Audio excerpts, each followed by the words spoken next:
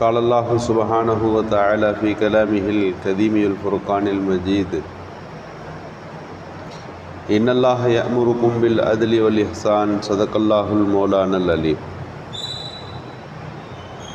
மேலான அல்லாஹுவின் நெல்லடியார்களே நபிகள் நாயகம் சல்லல்லாஹு அலைஹி வசல்லம் அவர்கள் ஒரு முன்னறிவிப்பு செய்தார்கள் அந்த முன்னறிவிப்பிலே அடுத்து நடக்கக்கூடிய மிக முக்கியமான காரியம் என்னுடைய மரணத்துக்கு பின்னால் முதலாவது நீங்கள் அடையக்கூடிய விஷயம் பைத்துல் முக்கத்தஸை வெற்றி பெறுவீர்கள் என்று குறிப்பிட்டார்கள். ரசூலுல்லாஹி சல்லல்லா அலிஸ்லம் அவர்கள் சொன்னது போலவே உமரது அல்லா அவர்கள் எகிப்தை பிடித்தபோது எகிப்தினுடைய ஆட்சிக்கு கீழே இருந்த அந்த ஜெருசலம் என்ற நகரமும் அதற்கு உள்ளே இருக்கின்ற மஸ்ஜிதுல் அக்ஸா என்கின்ற வளாகம் முஸ்லீம்களின் கரங்களுக்குள்ளே வந்தது. அபு உபைதாரது எல்லா அந்த பைத்துல் முக்கத்தசனுடைய சாவியை அந்த ஆட்சியினுடைய அந்த அதிகாரத்தை பெறுவதற்கு போகிறார்கள். போகிறபோது அங்கே இருந்த யூத தலைவர்கள் சொன்னார்கள் இதை உங்களுடைய ஹலீஃபாவின் கையில் தான் நாங்கள் ஒப்படைப்போம். இந்த பொறுப்பை அதிலுள்ள தளபதியாக நீங்கள் இருந்தாலும் உங்களிடத்தில் ஒப்படைக்க முடியாது என்று சொல்லிவிட்டார்கள். எனவே அந்த வைத்துல் முக்தசனுடைய அந்த சாவியை பெறுவதற்கு உமர்வது எல்லாம் மக் அங்கே இருந்து புறப்பட்டு வருகிறார்கள். மதினாவிலிருந்து இங்கே பயணம் செய்கிறார்கள். நாமெல்லாம் அதிகம் அதிகம் கேள்விப்பட்டிருக்கக்கூடிய செய்தி. வருகிற போது ஒட்டகம் ஒட்டகத்தில் உமரதியில் அமர்ந்து வருவார்கள். கொஞ்ச தூரம் அவருடைய அடிமை அயாஸ் அதை ஓட்டிக்கொண்டே வருவார். உனக்கும் கால் வலிக்கும் இல்லையா? எவ்வளவு நேரம் நீ நடந்தே வருவாய்? நீ ஏறு மேலே. என்று உமருதியெல்லாம் அடிமையை மேலே ஏறி அமர்த்த வைத்துவிட்டு உமரது எல்லாம் கீழே அந்த ஒட்டகத்தின் கயிற்றை பிடித்து நடந்து வருவார்கள். இப்படி மன்னரும் அடிமையும் மாறி மாறி பயணம் செய்கிறார்கள். பைத்துல் மக்தஸ் வருகிற போது அடிமை மேலே இருக்கிறார் உமரதி எல்லாம் கீழே இருந்தார்கள். அந்த எல்லை வந்து விட்டது. உமரது எல்லாவுடைய செரு அவர் அணிந்திருந்த அந்த கால் செருப்பு என்பது அறுந்து போனது. அதை எடுத்து கையில் வச்சுருந்தாங்க. இப்படி கையில் வைத்து கொண்டு அந்த பலஸ்தீனுடைய ஜெருசலத்தினுடைய நகரங்களில் நடந்து வருகிறார்கள். வரவேற்பதற்கு அங்கே யூத மக்களெல்லாம் ஒன்று கூடி நிற்கிற ஒரு நேரம். யார் ஹலீஃபா என்று எல்லோரும் ஆச்சரியத்தோடு பார்த்து கொண்டிருக்கிறார்கள். ஆனால் ஹலீஃபா எப்படி வரார்னா ஆக பெரிய எளிமையோடு இருக்கிறார். அவருடைய உடையை சுற்றி சுற்றி பார்க்கிறார் ஒரு யூதவர் பண்டிதர். பார்த்து விட்டு சொன்னார் இந்த பைத்துல் மக்தஸை கற்று கைப்பற்ற வருபவர்கள் ஒட்டு துணி போட்டிருப்பார்கள் என்று இருக்கிறது. உங்கள் உடை முழுக்க ஒட்டு அது பதினேழு ஒட்டு இருக்கிறது என்று என்று சொல்லப்பட்டிருக்கிறது என்று அவர் குறிப்பிட்டார். அதில் துமர்றது எல்லாம் ஒரு சில வரலாற்று புத்தகங்கள் இப்படியும் எழுதப்பட்டிருக்கிறது. எண்ணி எண்ணி பார்த்தவர் பதினாறு ஒட்டு இருக்குது ஒன்று ஒரு ஒட்டை காணமே என்று கேட்டாராம். உமரது எல்லாம் தன் கையை தூக்கிய போது ஒரு தோழிலாளர் ஒட்டு அவருடைய கைக்கு கீழே இருந்தது. பதினேழு ஒட்டுகளை போட்ட ஒரு ஹலிஃபா தான் பறந்து விரிந்த ஒரு சாம்ராஜ்யத்திற்கான தளபதி என்றால் யோசித்து பார்க்க முடியுமா? மதினா எங்கே இருக்கிறது? எகிப்து தேசம் எங்கே இருக்கிறது? ஷாம் எங்கே இருக்கிறது? சிரியா எங்கே இருக்கிறது? இன்றைக்கெல்லாம் தனித்தனி நாடாக நாம் பார்க்கிறோமே. நாமெல்லாம் பார்க்கிற போது எகிப்து இங்கே இருக்கிற இந்த இஸ்ரேலை சுற்றி இருக்கக்கூடிய நாடுகள். இது அத்தனையும் உமரது எல்லா காலத்தில் இஸ்லாமிய ஆட்சி கீழே வந்துருச்சு. இப்போது அது போய் தமிழ் தனி நாடுகளாக இருக்கின்றன. இது எல்லாத்தையும் சேர்த்தது தான் ஷாம். ஜோர்டான் உள்ளடக்கம் ஷாம் உள்ளடக்கம் சிரியா உள்ளடக்கம் இதெல்லாம் சேர்த்தது தான் அந்த பெரிய பலஸ்தீன் என்ற பகுதியே. இது எல்லாவற்றையும் வெற்றி கொள்கின்ற இஸ்லாமிய பேரரசு அதுக்கெல்லாம் சாவியை வாங்க வர்றாங்க. வருகிற போது நடக்கக்கூடிய செய்தி இவ்வளவு எளிமையாக முரதியெல்லாம் உள்ளே வந்த உடனே ரசூலுல்லாய் ஸல்லல்லாஹு அலிஸ்லம் மேராஜுக்கு போன போது தொழுத அந்த மஸ்ஜிதுல் அக்ஸா என்கின்ற வளாகம். மஸ்ஜிதுல் அக்ஸா அக்ஸான்னு சொன்னாக்கா அது ஒரு பெரிய இடம். மஸ்ஜிதுல் ஹரம் மஸ்ஜிதுல் ஹரம்னா காபத்துல்லா மட்டும் மஸ்ஜிதுல் ஹரம்னு சொல்ல மாட்டோம். அதை சுற்றி இருக்கிற எல்லா இடத்துக்கும் பேர் தான் மஸ்ஜிதுல் ஹரம்னு சொல்லுவோம். மஸ்ஜிதுல் அக்ஸா மஸ்ஜிதுல் அக்ஸானா என்னது? அங்கே கட்டடம் இருக்கிறதோ இல்லையோ அதனுடைய பெரிய வளாகத்துக்கு பேர் அந்த மைதானத்துக்கு பேர் தான் மஸ்ஜிதுல் அக்ஸா. அது எங்கே வேணால் தொழுகலாம்.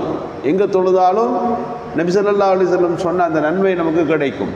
முதலாவது காபத்துல்லா ரெண்டாவது மதீனாவில் இருக்கக்கூடிய மஸ்ஜிது நபவி மூணாவது மஸ்ஜிதுல் அக்சாவின் பள்ளிவாசல். மஸ்ஜிதுல் அக்ஸா என்கின்ற பெரிய வளாகத்தில் இரண்டு கட்டிடங்கள் இருக்கும். முக்கியமாக ரெண்டு கட்டிடம். முதலாவது கட்டிடம் நாமெல்லாம் அறிந்திருக்கக்கூடிய பெரிய தங்க கூரை போட்ட ஒரு டூம் இருக்கிறது. அதுக்கு பேர் ஹுப்பத்து சஹ்ரா. ஹுப்பான்னா கூடாரான்னு அர்த்தம். சஹ்ரானா பாறை என்று அர்த்தம். உள்ளே ஒரு பாறை இருக்கிறது. பாறை பாறையாக இருக்கும். அந்த பாறை மேலே அந்த கூடாரத்தை கட்டியிருக்கிறாங்க. அது மர்வான் மன்னர்கள் கட்டினார்கள். உமைய ஆட்சியில் அவர்களின் ஆட்சியின் அடையாளமாக அந்த ஒரு பெரிய கட்டடத்தை கட்டினார்கள். அதற்கு முன்னால் இருக்கக்கூடியது தான் மஸ்ஜித் அக்ஸா அந்த ப நாம் சொல்லக்கூடிய வரலாற்று சிறப்புமிக்க பள்ளிவாசல். நபிசல்லா அலிசல்லம் அந்த பள்ளிவாசலினுடைய அதில் ஒரு ஃபுராக் என்கின்ற ஒரு பகுதி இருக்கிறது. மஸ்ஜிதுல் புராக்குன்னு ஒரு பகுதி இருக்கிறது.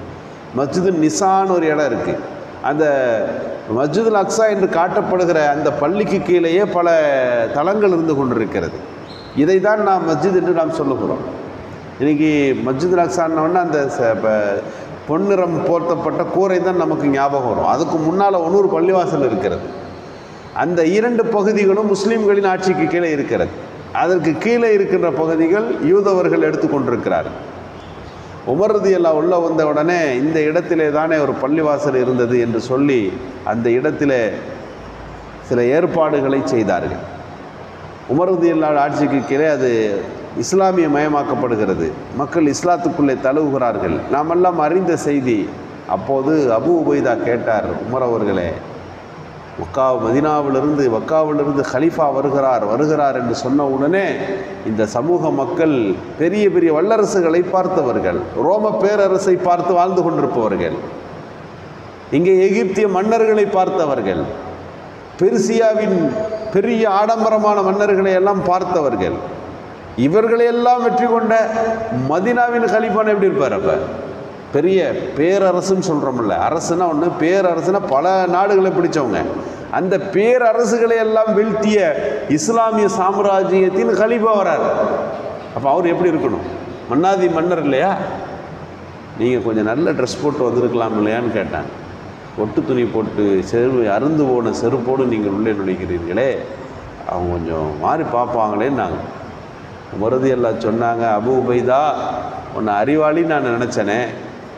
உன்னை உன்னை அறிவாளி என்றல்லவா நான் நினைத்து கொண்டேன் என்று உமரது எல்லா சொல்லி இந்த உலகத்தினுடைய பற்றற்ற தன்மை நிரந்தரமில்லாத ஒரு வாழ்க்கை எளிமை குறித்தெல்லாம் உமரது எல்லா அவர்களிடத்தில் பேசினார்கள். ஆக உயர்ந்த இந்த தன்மையை பார்த்து அந்த மக்கள் சொன்னார்கள் இந்த சாவி யாரிடம் ஒப்படைக்கப்பட வேண்டுமோ அந்த சிறந்த ஒரு சமூகத்திடத்தில் இந்த சாவி ஒப்படைக்கப்படுகிறது. பைத்துல் முகத்தஸ் யாரிடத்தில் இருக்க வேண்டுமோ அவர்கள் கரங்களிலே இப்போது பைத்துல் முகத்தஸ் கொடுக்கப்பட்டிருக்கிறது என்று அவர்கள் புகழ்ந்த செய்தியை நாம் வரலாற்று செய்திகளில் பார்க்கிறோம். எனவேதான் இஸ்லாமியர்கள் ஆட்சி வந்த உடனே உமர்றது எல்லாம் ஒரு ஒப்பந்தம் எழுதினார்கள். இஸ்ரேவேலர்கள் அந்த பனு இஸ்ரேல்களை எல்லாம் அழைத்தார்கள். தலைவர்களை எல்லாம் அழைத்து ஒரு ஒப்பந்தம் எழுதி கொடுத்தார்கள். அந்த பள்ளிவாசலுக்கான அந்த யூத சமுத சமுதாயத்திற்கான தரப்பட்ட அந்த ஒப்பந்தம் ரொம்ப நாள் வரைக்கும் கடந்த ஒரு இருபத்தி கடந்த ஐம்பது ஆண்டுகளுக்கு முன்பு வரை. ஐம்பது ஆண்டு என்பது கூட அதிகம். ஏரியல் ஷரோன் என்கின்ற ஒரு பிரதமர் வருகிற வரை அது இருந்தது. ஏரியல் ஷரோன் உள்ளே வந்து அந்த பைத்துல் முகத்தஸில் இருந்த பகுதிகளை எல்லாம் தீக்கிரையாக்கினான். அந்த லைப்ரரியில் இருந்த உமரது எல்லாம் எழுதி கொடுத்த அந்த ஒப்பந்தம் தீக்கிரையானது. ரசூல்லா அந்த பகுதியெல்லாம் பிடிக்கும்போது ஒரு ஒப்பந்தம் செய்வாங்க. ஒரு இடத்துல பஹ்ரைனை கடந்து வருகிற போது பஹ்ரைன் பிடிச்சாச்சு. அங்கே பார்த்தா ஒரு பெரிய கூடாரம் ஒன்று இருக்குது பெரிய சவுறு கட்டி ஒரு பெரிய கோட்டை மாதிரி இருக்குது. இது யார் என்று கேட்டார்கள். இங்கே சில ஃபாதர்கள் வழிபட்டு கொண்டிருக்கிறார்கள். இந்த ஆட்சியில் கூட அவர்கள் கட்டுப்படவில்லை. கடந்த ஆட்சியில் கூட அவர்களுக்கு தனிப்பட்ட அந்தஸ்து இருந்தது. ஒட்டுமொத்த மத குருமார்கள் உள்ளே இருக்கிறார்கள் மத பாடங்களை நடத்துகிறார்கள். இவர்களுக்கென்று சில நிலங்கள் இருக்கிறது அதில் வருமானத்தை ஈட்டிக் கொள்ளுகிறார்கள். இவர்களை கவர்மெண்ட் கட்டுப்படுத்துவதில்லை என்று சொன்னபோது ரசூல்லா சொன்னாங்க அதே மாதிரி இருக்கட்டும் இஸ்லாமிய ஆட்சியாளர்கள் இவர்களை கட்டுப்படுத்தக்கூடாது. இந்த மடத்துக்குள்ளே பூந்து இவர்களின் அதிபதிகளை மாற்றுவதோ பொறுப்புதாரிகளை களைவதோ இந்த கணக்கு வழக்குகளை கேட்பதோ இதன் வருமானங்கள் எப்படி என்று நீங்கள் தலையிடுவதோ எதையும் நீங்கள் செய்யக்கூடாது. ரசூல்லா எழுதி கொடுத்துட்டாங்க. இன்றைக்கும் நீங்கள் பஹ்ரைன் போங்க. அது ஒரு இஸ்லாமிய நாடு. வ- விரிந்து பறந்து இருக்கும் எல்லா மக்களும் மஸ்ஜிது. பஹ்ரைனில் அந்த இடம் மட்டும் கிறிஸ்துவ கிறிஸ்டின்ஸ் வாழ்கிறார்கள். காரணம் நபிகள் நாயகம் செல்லல்லா அலி செல்லம் எழுதி கொடுத்த ஒப்பந்தம். எந்த மன்னரும் மாற மாட்டார். அவர்களுக்கு தன்னாட்சி சுயாட்சி பகுதியாக பெரிய இடம் இல்லை கொஞ்சம் ஒரு சின்ன பகுதி. இன்றைக்கும் வைத்திருக்கிறார்கள். அதே போன்றுதான் இஸ்ரேலை கைப்பற்றிய போது இந்த பலஸ்தீனை கைப்பற்றிய போது ஜெருசலம் நகரத்திற்கு உமருதியல்லா எழுதி கொடுத்த ஒப்பந்தம் இருக்கிறது. இப்படி நீதியும் நேர்மையையும் கொண்டதாக இஸ்லாமிய ஆட்சி இருந்தது என்பதை நாம் சொல்லுவதில்லை. உலக வரலாறுகளை எழுதுவர்கள் சொல்லுகிறார்கள் யூத சமூகம் நிம்மதியாய் வாழ்ந்த ஒரு காலமும் பூமியும் இருக்கிறது என்றால் அது இஸ்லாமிய ஆட்சியில்தான் அவர்களுக்கு அந்த நிம்மதி கிடைக்கப்பெற்றது. என்று எழுதுகிறார்கள். அல்லாஹு சுப்ஹானஹு தாலா வரலாறுகளை ஞாபகப்படுத்துவதற்கும் படிப்பதற்கும் கடந்த கால நம் சமூகத்தினுடைய வரலாற்று செய்திகளை புரிந்து கொள்வதற்குமான நல்ல தொகைக்கு எல்லாம் நல்வானா சுப்ஹானல்லாஹ்